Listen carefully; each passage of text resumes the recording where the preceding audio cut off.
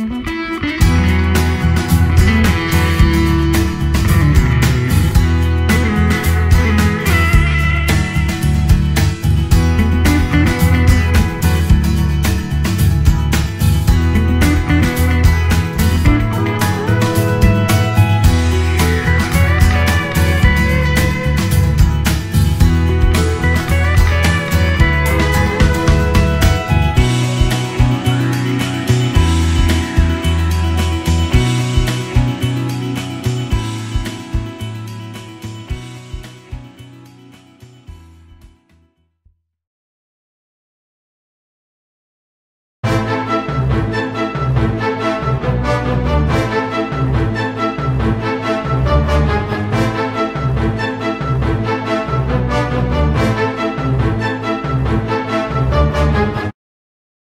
由郑观周为大家讲述春秋相国郑子产。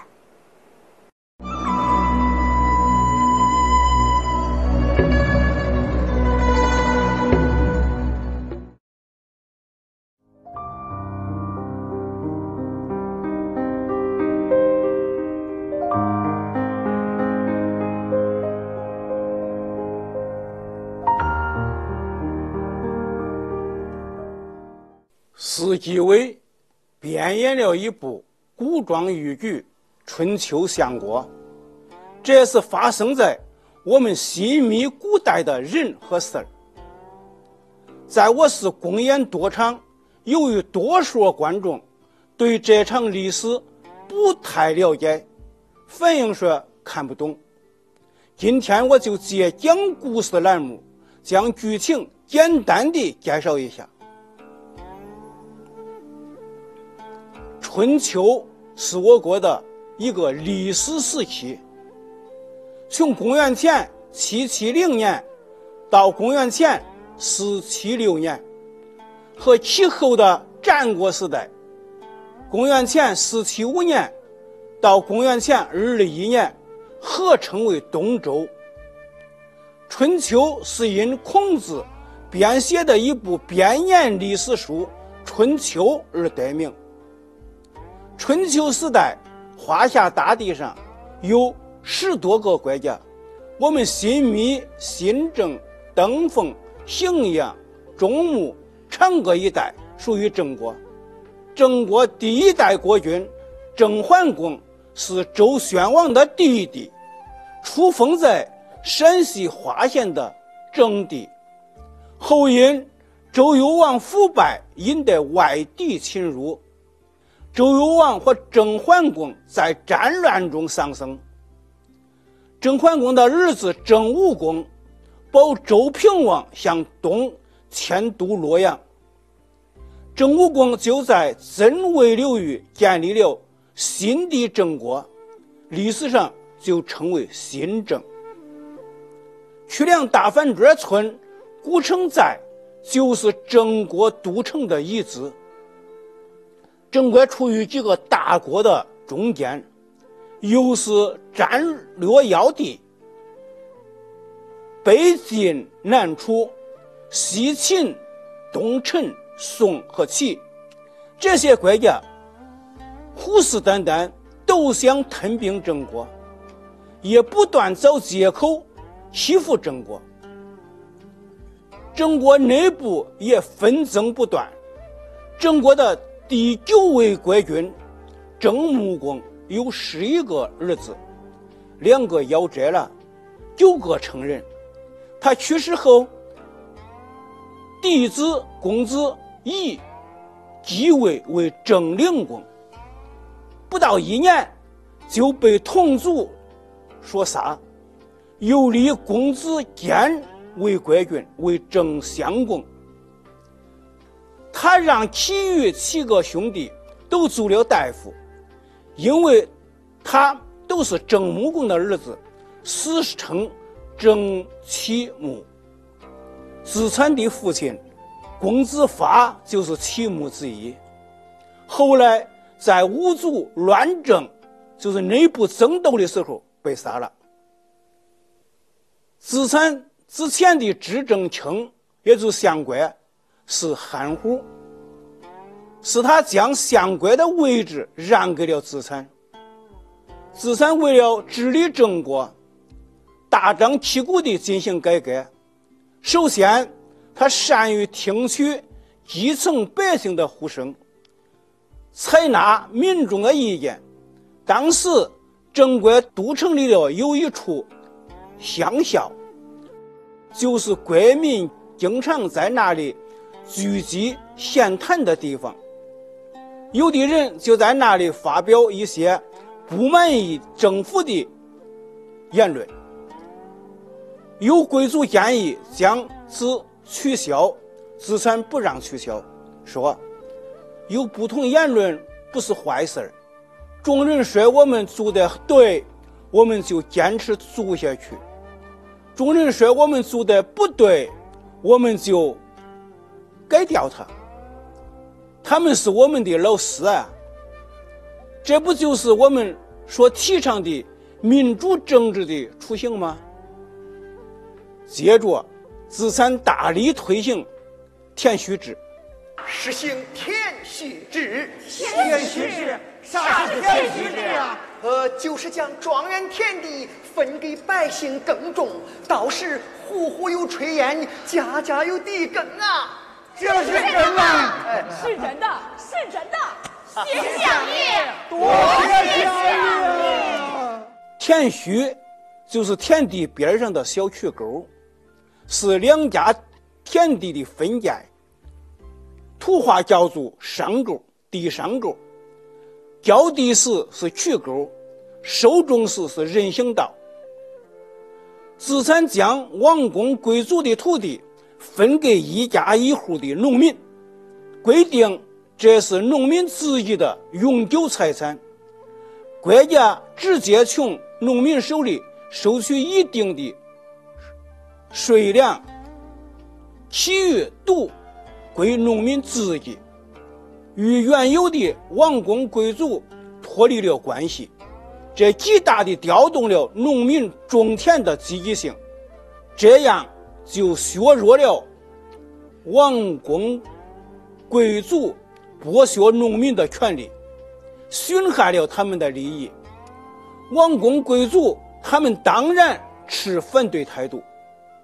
资产为了使自己国家强大，还改革了兵役制，即按田地面积出兵役和征收军需物资，称为丘赋。丘。是计算田地面积的单位，四周都有渠沟的一块地叫做一井，大约八至十六井可为一丘。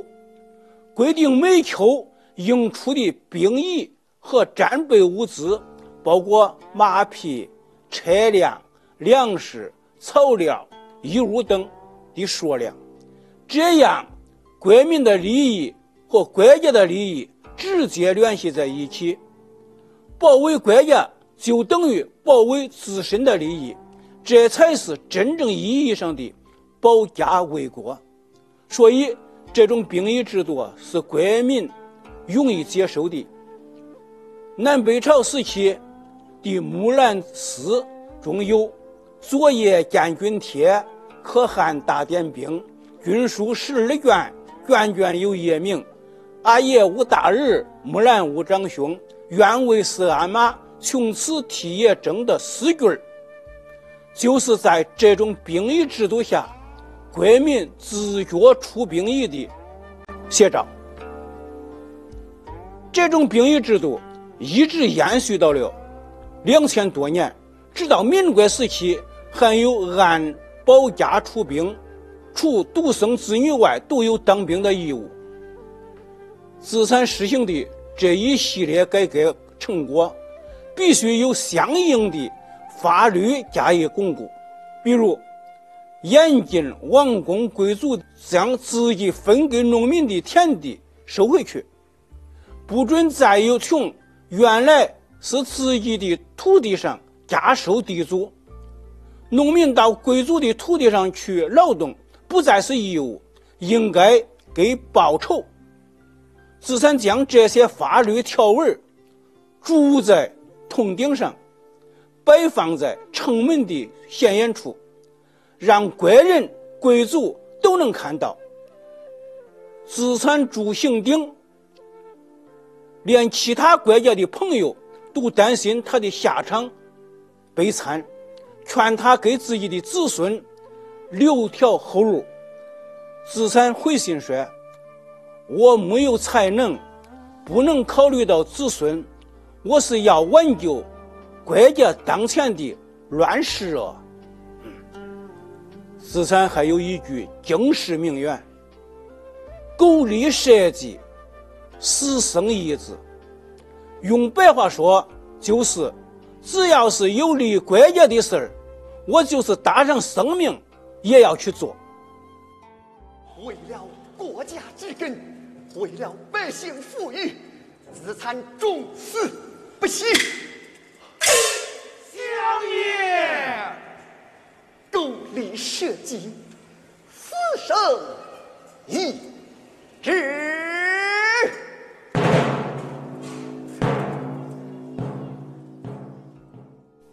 自参不仅是改革家，还是杰出的政治家、军事家、外交家。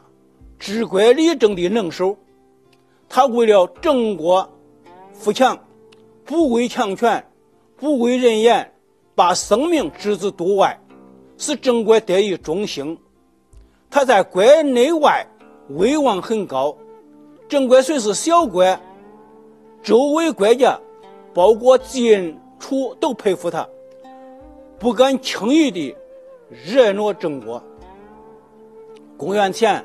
五二年，子产逝世了，郑国百姓痛哭失声，编成送葬歌谣，道：“我有子弟，子产惠子；我有田畴，子产失子。子产日死，谁其次子？”连孔子听到了子产去世的消息。也痛哭流涕地说：“失子以爱也。”子产身后，家无余财，没有安葬费。遗嘱选在都城南行山之上，用乱石砌成墓道，不用随葬品。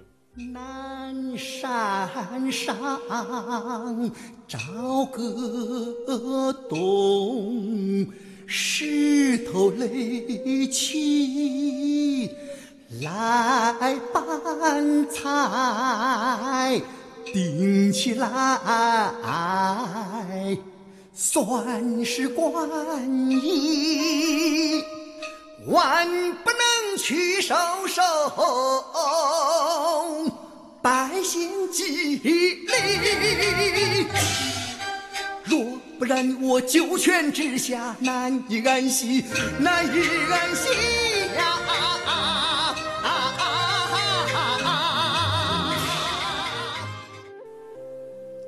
郑国民众自愿捐出金银财宝，放在资产家的门外，资产孩子不敢收。又退不回去，就泡在门前的小河里。从此，这道小河一连多天金光闪闪，故得名金水河。资产封地在东里，就是现在郑州市的东里路，就是纪念资产生前而得名。这就是相国郑子产的。